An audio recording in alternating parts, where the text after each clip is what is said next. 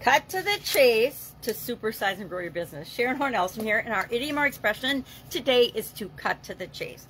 This idiom has its origin in the motion picture industry, and it has to do with the fact that in early movies, early films, there were exciting parts in the movies and action scenes, battles, or uh, all different types of attention getting scenes mixed with dialogue or slower exposition explanation type scenes to tell the story. And sometimes to keep audiences interested, the filmmakers or the film showers would cut to the chase. They'd go to the exciting parts to keep people interested so they wouldn't get up and leave the theater, so they wouldn't get up and be dissatisfied with the movie. I think of movie trailers. I think movie trailers are a perfect example of how they show the most interesting parts of the film to get our interest, to get our attention, and to get us to go to the theater and get us to go to the movies. So to me, trailers are a perfect example of cutting to the trace chase. It's why we do marketing. It's why we pull out the pieces of our message and what we do for people in order to supersize and grow our business. We show them the parts that are most interesting to them in order to get their attention and get them to be interested in our business, our products, our services, etc.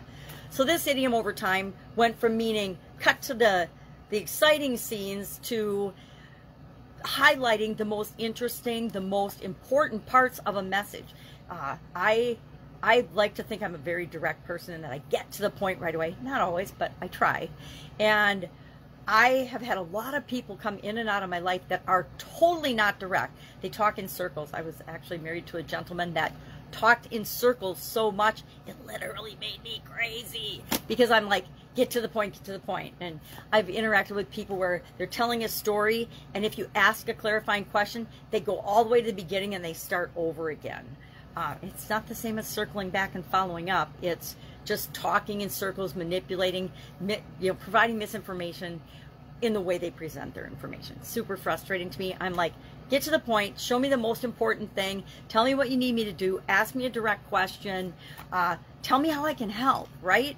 I want a, what's the shortest path to this? Leave out all the irrelevant detail stuff that is is important to you maybe, but not to the person that you're talking to. So highlight the things that are most important to the people that you serve. When you're delivering messages in your business, make sure you are covering the most important, most interesting, most relevant parts to the person that you're talking to or the audience that you're sharing it with.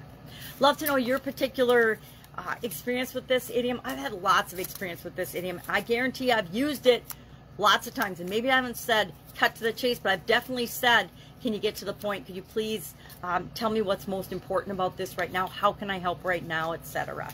Uh, I think of the Myers-Briggs personality tests and DISC analysis tools and things, and the different type of personalities that we are and how we tend to behave in normal situations versus stressful situations and how we need to remember to treat people the way we want to be treated when it comes to human beings, but also treat them and speak to them and communicate with them in the way that's best for them. You know, there's all different types of people, and we have to never assume that everybody thinks like we do. Because guess what? Almost nobody thinks exactly like we do.